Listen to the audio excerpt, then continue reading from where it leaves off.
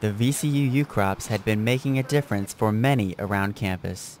I'm a little upset because this is where I come all the time to get my groceries. It's walking distance from my dorm, you know, and now I'm probably getting my car and drive to Kroger or something to get my groceries. Vice President of Ukrop's Store Operations, Jim Scanlon, says the store just didn't make enough cash. We, we made a decision. Uh, Harrison and Gray Street store has been open for five years now, and uh, we, have uh, put a lot of money into the store, uh, quite a few millions of dollars and we just have not been able to make a profit in that store. And it's a substantial deficit, so it's not like it's just a, a small amount of money.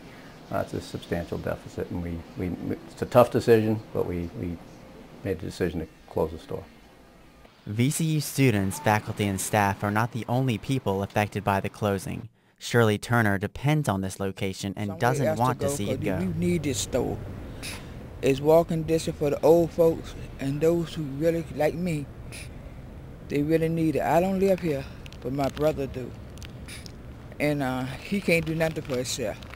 Ukrop's is not the first grocery store forced to close at this location. Uh, Safeway was there, Farm Fresh was there, Community Pride was there, uh, and, and none of them were able to, to, to really make it as a supermarket. Uh, potentially, maybe it's a, a, better location for another type of business. Uh, Some customers disagree.